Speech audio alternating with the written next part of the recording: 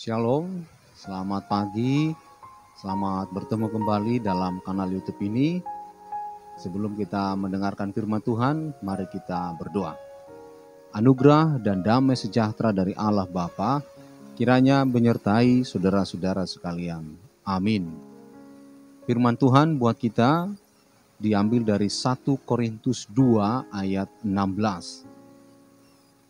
Sebab Siapakah yang mengetahui pikiran Tuhan sehingga ia dapat menasihati dia? Tetapi kami memiliki pikiran Kristus. Demikian firman Tuhan. Topik renungan kita, dengan roh kuduslah kita dapat mengetahui pikiran Kristus. Saudara-saudara, otak yang kecil ini tidak sanggup untuk menerima atau memahami pikiran Allah yang besar. Bahkan dunia ini tidak sanggup atau tidak dapat memahami pikiran Allah yang begitu luar biasa.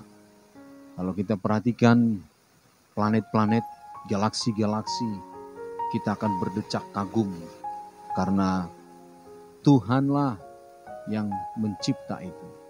Kita sebagai ciptaannya tidak akan sanggup menerima, memasukkan seluruh Allah itu ke dalam pikiran kita yang begitu kecil ini.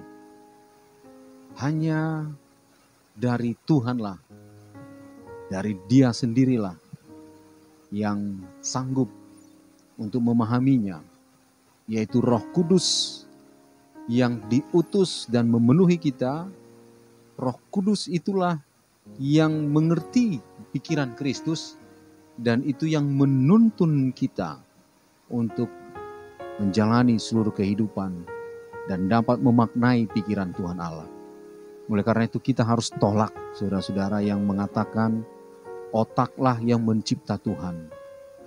Bukan, tapi Tuhanlah yang mencipta otak itu otak yang mencipta Tuhan, justru dia meniadakan Tuhan Allah itu sendiri. Seolah-olah pikiran inilah yang mencipta dan memproyeksikan Tuhan itu. Dan itu adalah mengatakan dirinya lah yang menjadi Tuhan Allah. Manusialah, otak manusialah yang mencipta semuanya itu. Oleh karena itu hari ini kalau saudara-saudara sangat sulit memahami apa yang tengah terjadi pada diri, pada keluarga, pada pekerjaan, pada apa pun. Bisa jadi merasa kok bisa begini, kenapa terjadi seperti ini dalam hidupku. Sakit penyakit ini bagaimana mengatasinya dan sebagainya. Saudara-saudara, undanglah roh kudus, roh Allah itu.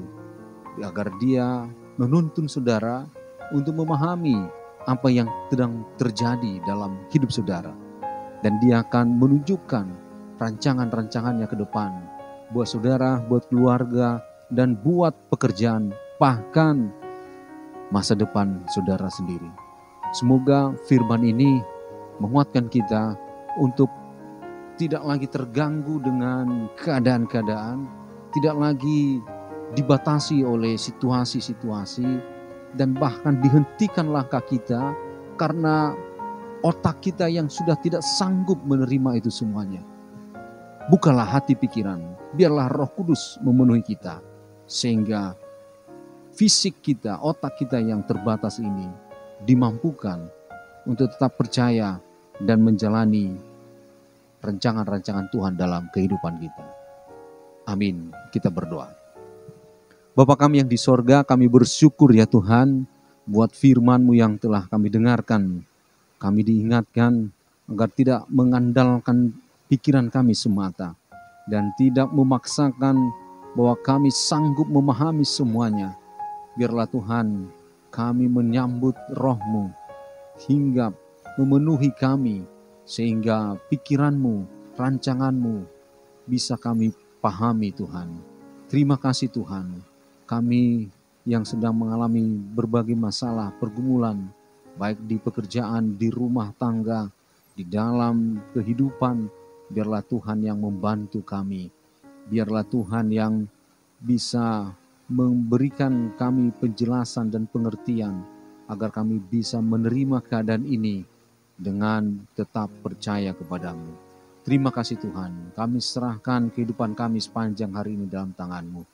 Tuhanlah yang memberkati. Berkati gerejamu, berkati jemaatmu Tuhan, berkati anak-anak kami. Dalam nama Yesus Kristus kami berdoa. Amin. Bapak, Ibu, saudara-saudara yang terkasih, selamat pagi, selamat beraktivitas. Tuhan Yesus memberkati. Shalom.